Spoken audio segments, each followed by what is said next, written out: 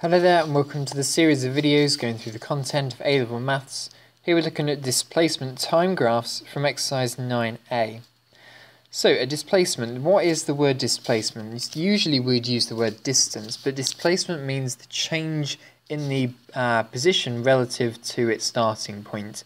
So if it's gone forward and then come back, its displacement is only the difference between where it started and where it finished. And it could be negative as well. If you're going in the, the opposite direction to the way that positive is set, then you could have negative displacement as well. So in mechanics, we usually use the variable s in displacement and we use t for time.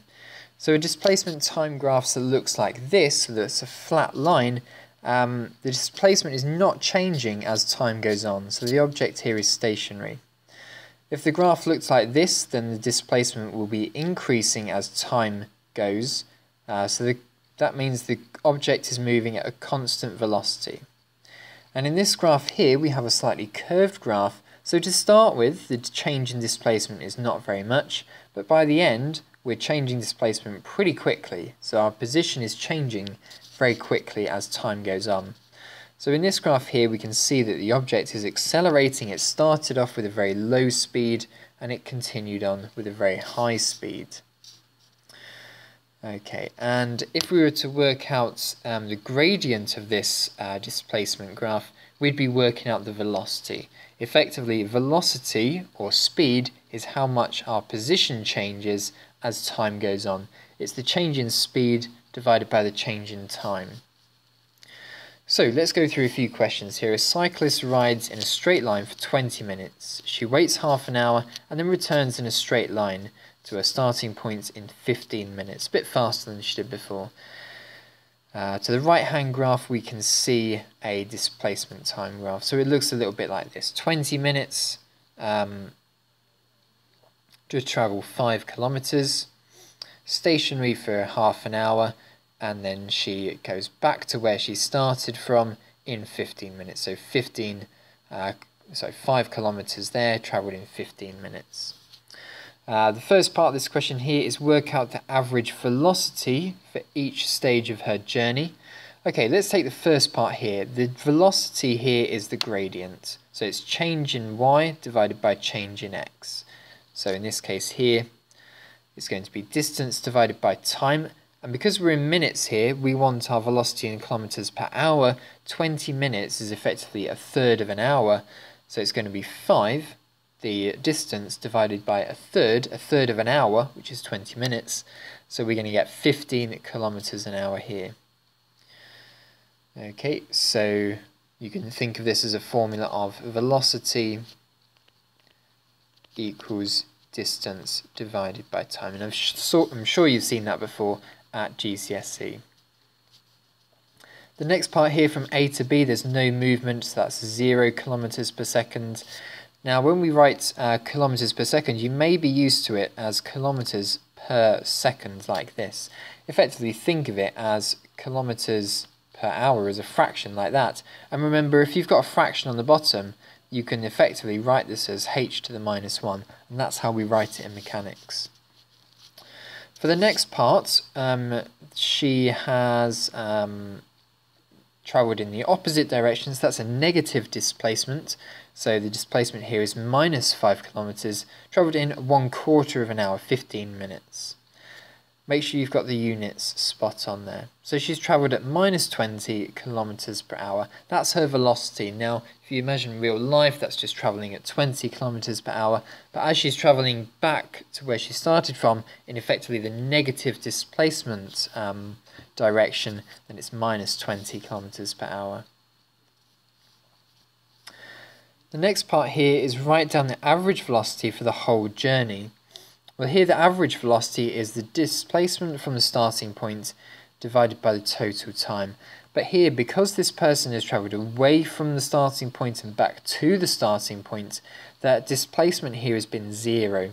So the average velocity here in this case is zero because no displacement has happened. The difference between the finish, finishing position and the starting position is zero work out the average speed for the whole journey, well, now you're talking about a different kettle of fish here.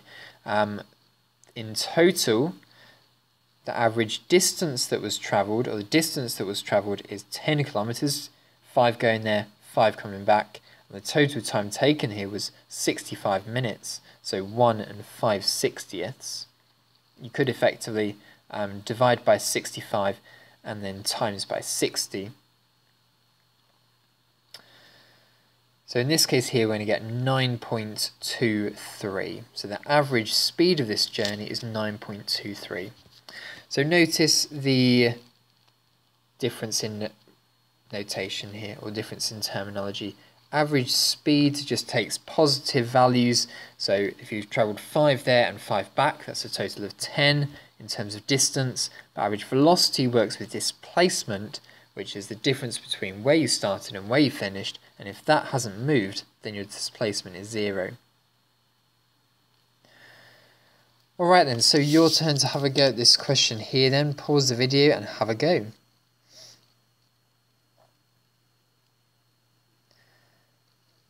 right, okay, so uh, this car shows, um, this graph shows a car travelling along a straight road. Um, the journey is divided into five stages, A to E. Work out the average velocity for each stage of the journey. Okay, so E here um, going to be displacement of 40 divided by half because it only went for half an hour. So it's 40 divided by 1 half, which is 80. And this is going to be in kilometres per hour. Uh, let's just, I would always, um, 80 kilometers per hour here. It is a car, so yeah, that's very feasible that that car traveled at 80 kilometers per hour. If it was something like a horse trotting along the road and I got 80 kilometers an hour, I'd be a little bit suspicious that my answer didn't go quite to plan there. In this part B here, it's 20 divided by another half an hour, so that's 40 kilometers per hour. Now I'm writing that as kilometers per hour like that. If you want to use h to the minus 1, that's fine as well. C here, that's 0. So I'll write 0 kilometers per hour like that because you can use both ways of notating your answer. D here, this is going to be a difference of 40 on the displacement and that's going to have happened over one whole hour. So that's 40 uh, kilometers per hour. Notice here how the gradient of b and the gradient of d are virtually the same. They both go across one and up one of the squares, and that makes sense because their velocity is the same. For E here, remember we're working with negative displacement here because we're working with velocity. So it's going to be a displacement of minus 100 over how many hours? 1230 to 130, so that's divided by 1.5 hours.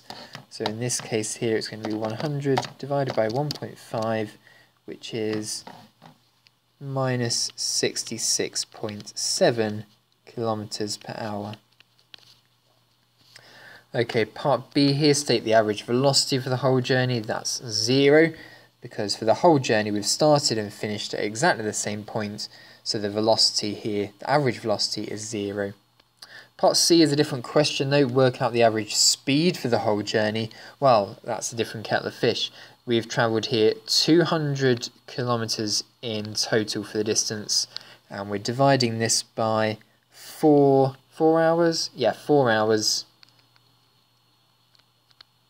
So in this case here it's going to be 50 kilometres per hour because it's kilometres on the top, hours on the bottom, so 50 kilometres an hour. Right then, have lots of practice on exercise 9a. Hopefully none of it should be too difficult for you, just a little bit of learning some new notation here. When it says average velocity, you're using displacement. When it says average speed, you're using distance. Alright then, um, persevere through the difficult ones, ask your teacher for help, blah blah blah. Thanks for watching.